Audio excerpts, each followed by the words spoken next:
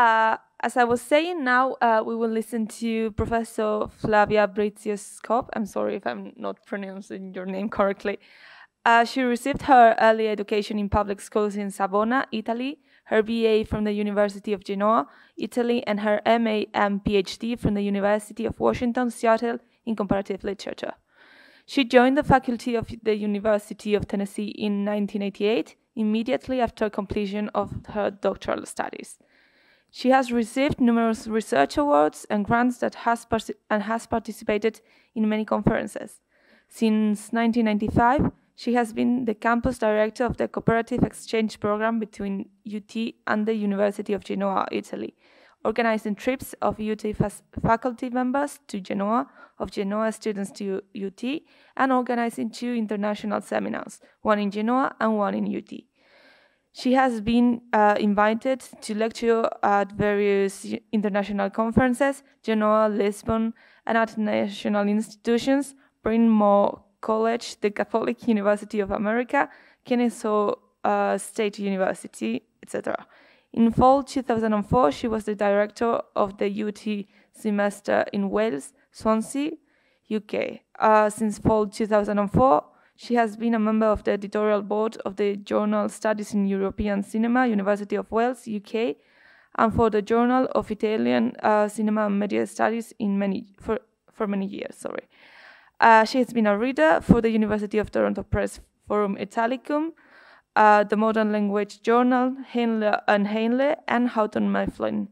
Professor Brizio-Skov's uh, research has touched on a variety of areas, as her three monographs, one edited volume, and numerous articles show. She has worked on contemporary literature, critical theory, postmodernism, metafiction, metahistory, cultural studies, and cinema. Her research deals with popular culture in the Italian cinema of the post-war period in, and in genre cinema. She teaches courses on a variety of topics related to 20th century Italy, dealing with literature, cultural studies, social history, and cinema. She also teaches a special topics course in Italian cinema every spring for cinema studies, and in fall she teaches an introduction to world cinema for cinema studies. So quite an impressive resume. Uh, so, well, uh, you have the floor, uh, Professor. Thank you very much, Natalia. Thank you to the organization of this splendid conference, and thank you for being here today. Um, I hope we, are, we were, course, forced to be here. This is the third day of the conference, so I would understand. Okay, my, my talk today is uh, Matteo Righetto's Soul of the Border, a Western novel, Italian style. Um, I'm not going. I'm going to talk only about the westernness of the novel, but I want to give you a little bit of background, and because I can't do it uh, quoting and so on and so forth, um, I'm going to use a little PowerPoint before I start reading my, my paper. So the novel came out in 2017 in Italy by Mondadori and then in English uh, for Atria Books New York in 2018. And this is, is Matteo Righetto for Italian standards and probably general standard is considered a young author. Uh, he was born in Padua in 1972. Um, he has already published many books, about 10. And um, uh, what is interesting, I have had the fortune, I mean, the luck to meet him, and uh, so I know him, is um, a devoted mountaineer, and uh, he lives in a small village way up into the Alps um, as much as he can. He also lives in Padua, where he teaches also. Um, the importance, uh, the, the fact that he's a mountaineer is very important for his writing because most of his books deal with, uh, with uh, the mountains, the high mountains. Uh, the great majority of this novel deal with the wilderness, and in this case, the Alpi Trentine, that I'm going to show you where they are. I'm sure you know where they are, but this is, will be where Venice is, and then Trento is here, and these are the Alps that he deals with uh, in most of his novels. Um, let me give you some landscaping about the Dolomites. I'm sure you know, but um, in his books, he, rela he, relates and he describes insects, animals, trees, plants, and he has an, almost the knowledge of a botanist. And he describes also the landscape. And the landscape is majestic, as you can see here. And let me give you some other. So instead of narrating you uh, the, the, the story, I mean, the description nature, you can remember these, uh, these uh, pictures. Um, these are mountains, the Dolomites, they are sparsely populated even today because of the harsh climate, especially in winter. Um, and you have, a, you have the pastures, and you have forest, and you have the, the glaciers. And this is winter on the Dolomites, as you can see, an avalanche in here, and it's also part of the, of the story of his novels. And finally, there are a lot of alpine lakes on the Dolomites, and in one of these, the protagonist of the novel takes a sort of regenerating bath because this is communion with nature and so on. Anyhow, so um, the the novel um, is part of a trilogy that is called the Homeland Trilogy, and uh, it, I'm only dealing with Soul of the Border here, but the other one are The Last Homeland and The Promised Land, and they deal all with the same protagonist. And they were published between 2018, 17, and they have been translated all over in many, many, 17 languages, and they have been translated in English.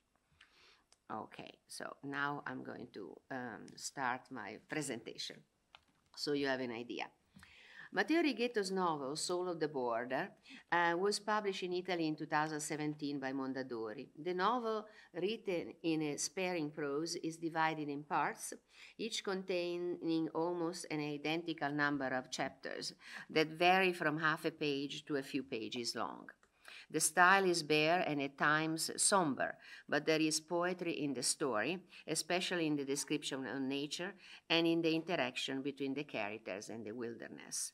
Righetto's The Homeland Trilogy, of which A Soul of the Border constitutes the first part, has carved a niche for itself inside a substantial group of novels that deal with the wilderness, whose most renowned authors are nationally Mario Rigoni Stern, Dino Buzzati, Paolo Cognetti, Mauro Corona, Francesco Vidotto, and internationally Jack London, James Fenimore Cooper, Joseph Conrad, Robert Louis Stevenson, John Steinbeck, etc. In this category, we should also include more recent writers like Joe Lansdale and Cormac McCarthy, whose epigraph, taken from All the Pretty Horses 1992, is included in a Mondadori edition um, of Soul of the Border, alongside Righetto um, dedication. Let me get to your. Um, can you hear me? Yes. Yeah, okay. Um, this is, I'm going to get there. This is uh, um, Righetto dedication.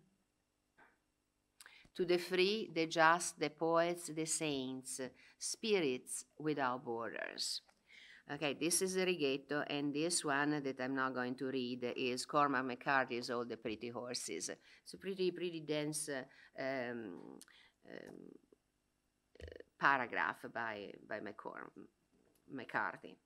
Um, McCarthy epigraph talks about beauty and suffering as two entities that in life diverge but are intertwined, because the beauty of a flower requires, requires the tribulation of many people. Righetto's dedication relates thematically to McCarthy's epigraph because beauty and suffering undoubtedly um, permeate his novel.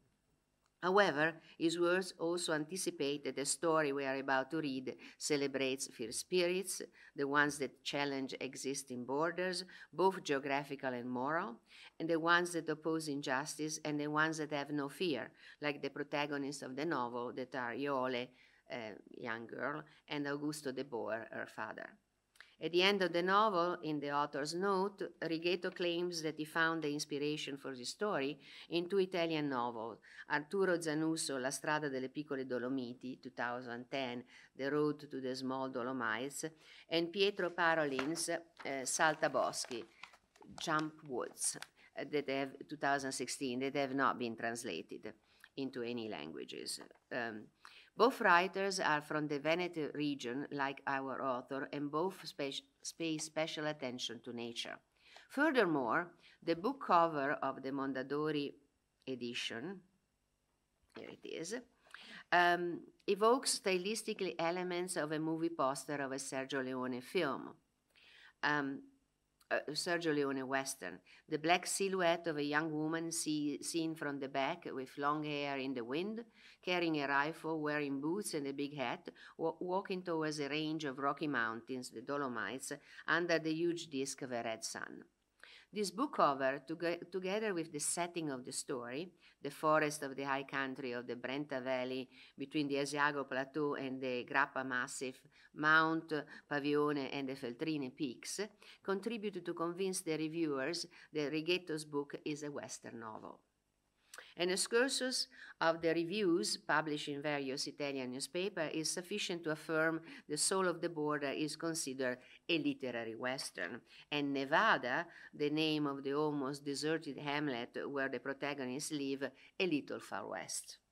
The book has been compared to Jack London's novel, labeled as an ecological novel for its attention to the environment and every reviewer has pointed out that the story takes the reader into a wilderness uh, where man, nature, and law clash. The reviewers have also concluded that Righetto's prior books, La pelle dell'orso, The Bear of the Skin, Savana Padana, Bacchiglione Blues, have predisposed the reader to consider Soul of the Border as an Italian Wild West story because all the elements are there wilderness, lawlessness, dangers, conflicts, guns, horses, frontier, poverty, communities, railway. We cannot claim that Righetto, Righetto's novel is a Western novel, albeit of a special kind, if we do not def define the model that inspired our author.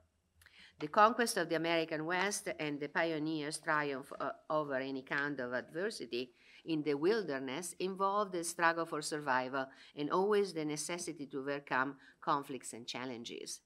Violence is an indispensable ingredient of any story. In fact, no frontier story exists without a gunfight, a confrontation, a, a duel, a battle. The Western novel and the Western film, like many popular genres, offer a formula and a regeneration through violence as theorized by Richard Slotkin. The frontier myth is based at its origin on a concept of regeneration through violence that entitles justification of violence. Since the Western epic, both in films and fiction, is offered as the incarnation of the myth of the American's origin, it suggests that violence is a necessary phase of that process through which American society and the democratic values were asserted.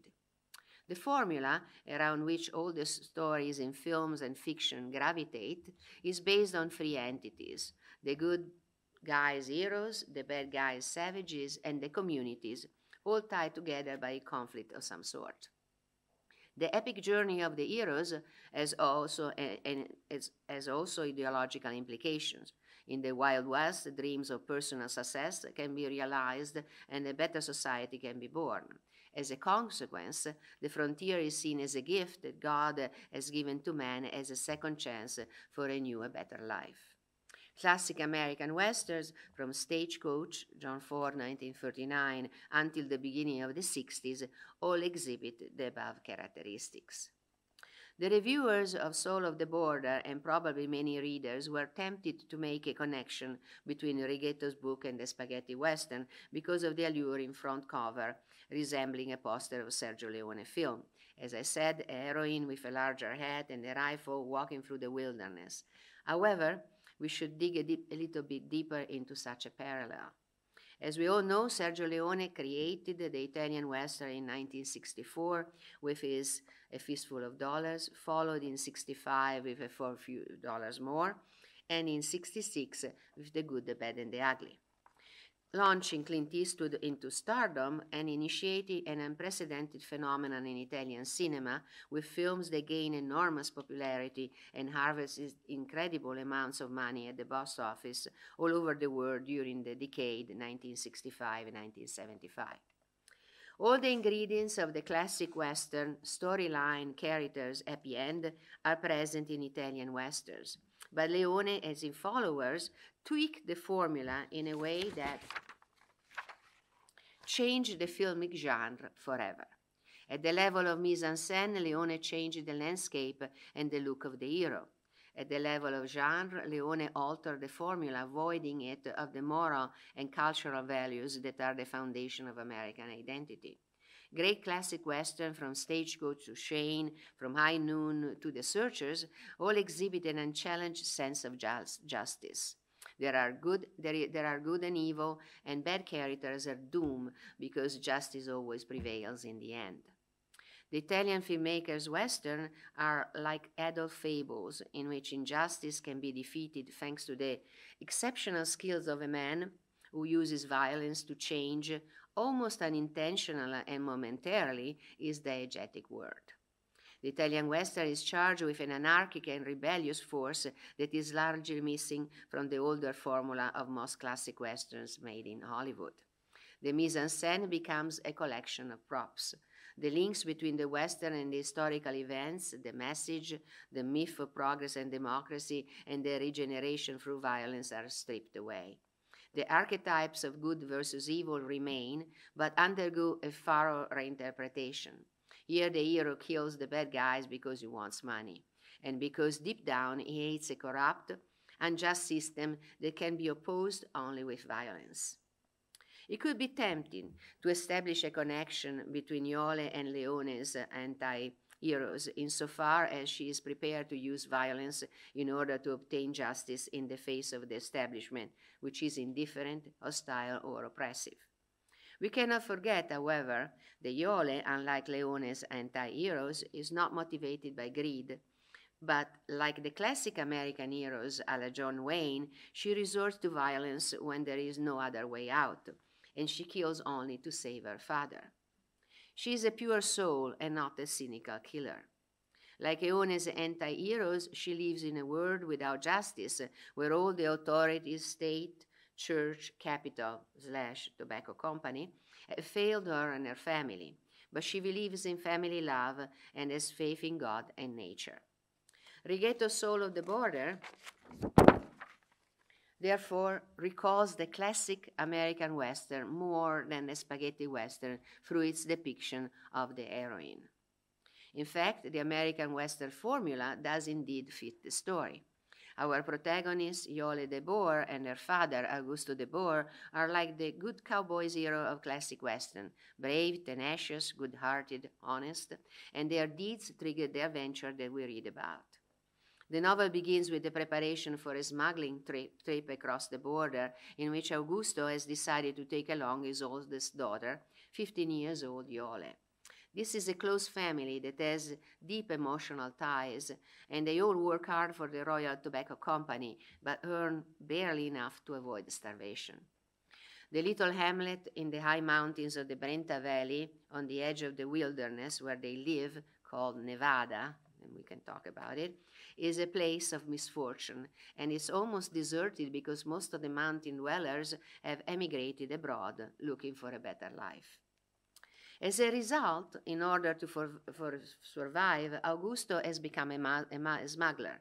He has broken the law many times out of necessity, crossing the border between Italy and Austria in order to barter tobacco hidden from the Royal Tobacco Company, for ingots of silver and copper to buy animals and food that will allow his family of five to live with a bit more of dignity.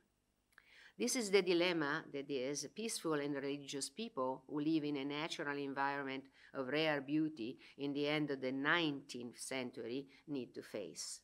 Obviously, smuggling put Augusto Iole on a collision course with the powers to be. The border guards of both the Austrian Hungarian empires and the Italian kingdoms are a danger they need to avoid. In American Western novels, heroes are usually motivated by necessity, survival, and above all, a strong desire for a better life for which they venture into the wilderness. Our heroes of the novel, like the pioneers who moved west, want to improve their lot, but their journey is not the same. At the end of it, they cannot settle on the prairie and live peaceful forever after. Their passage through the wilderness is a round trip that will bring them back exactly where they started, with a bit more money, but only enough to buy food for a while, a temporary fix. Unlike cowboy heroes, our protagonists do not expect progress and democracy at the end of their journey, but after the battle, may be only a temporary success because they know that they live in a land with no hope, where the kings, Cecco of Austria and Vittorio Emanuele II of Italy, never took the trouble to fill the bellies of the mountain dwellers, and they never will. Therefore, how could anybody in their situation as poor, uneducated mountain dwellers even think of progress and democracy in the Kingdom of Italy at the end of the 19th century? Righetto has performed a transculturization. He has transformed American cowboys into Italian mountain dwellers who have suffered exploitation for generations. Democracy and progress cannot enter their dreams, neither can equality or justice. His protagonists harbor a strong mistrust towards those in power. Righetto has taken the Western classic formula, the peaceful community oppressed by some danger, and has indigenized it by transforming his cowboy heroes into mountain dwellers of the Italian Northeast who do look different, but share with the original heroes the passion for horses, freedom, and nature.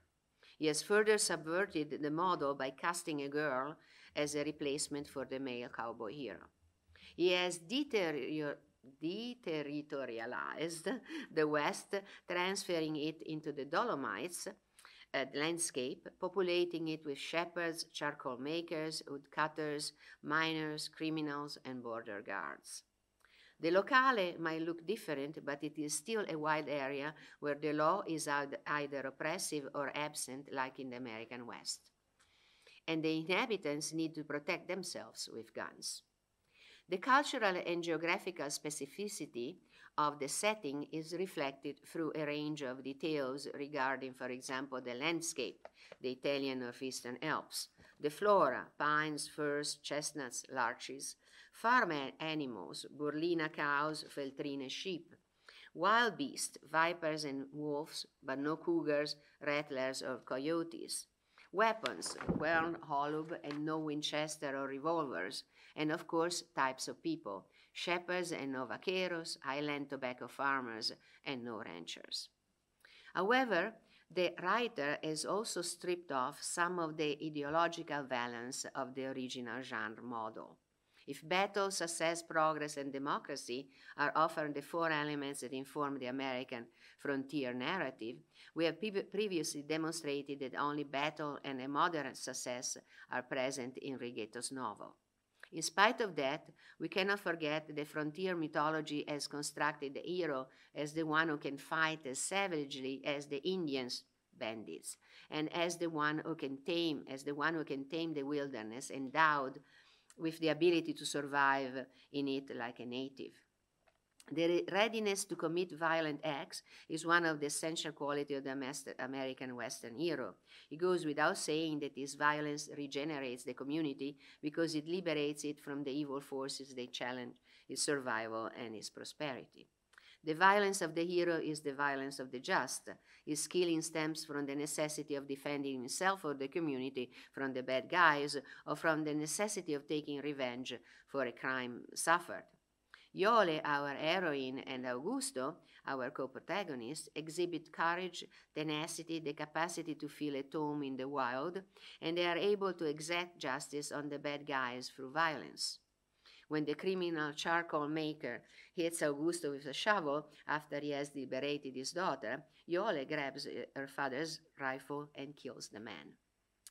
Iole's killing has to be considered as an act of justice. The evil rap rapist gets what he deserved according to frontier justice, or he had it coming, as in the popular saying uh, of many Western films. Our heroine does what she does, uh, what she has to do in order to save herself and her father. She is, like most Western heroes, an avenger, not a murderer. Despite the similarity between the original model and our novel, the regeneration through violence should be considered a bit less important um, and a bit less important than the regeneration through violence. Um, sorry, the regeneration through violence should be considered a bit less important than the regeneration through family love. Iole survives all the misfortunes, including the killing of a man, because she's happy to go home with her father to see her mother, her siblings, carrying the future in the form of precious metal bars that would assure a better life for them all. Love for family is the force that moves all the action of our heroes, helps them to survive, and gives them the strength to go on. Our analysis of Righetto's novel would not be complete without looking at the title of the book. If in literature, usually the title of the novel is linked directly or indirectly to the content of the story, we need to look into our text to dig out all the possible connections. What is the soul of the border? The two nouns, soul and border, at first seem an oddity. One is an abstract name, and the other is a geographical mark. But at a closer scrutiny, they are both abstract because borders are imaginary lines created by man, usually to delimit the, the territories that they have conquered. In this sense, the border in our novel is the imaginary line that, crossing over the Alps, divide the kingdom of Italy from the Austro-Hungarian Empire.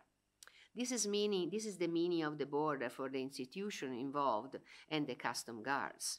However, for Augusto and Iole, the border is something entirely different. For them, the border is a call to survive, a challenge they take for the love of the family. It's a way to react against the anger and injustice inflicted by the custom officer and the tobacco company. And, and as a consequence, the border becomes an irresistible call to freedom from the yoke of oppression. On top of the mountain peaks near the border for Augusto Iole, the wind embodies, and I'm quoting, the legendary soul of the border, an ancient spirit at least as old as the mountains, a spirit that blows hard and moves from century to century, following the borders of man. For our protagonists, nature doesn't have borders. The birds, the wolves, the animals, the trees are always the same on this side as on the other side of the frontier. The border is therefore an imaginary line drawn by men to subjugate other men, either to keep them in or out. For our mountain dweller, the real border in society is the division between the rich and the poor, between those who have food and power and those who starve and break their back, for a handful of polenta, corn flour.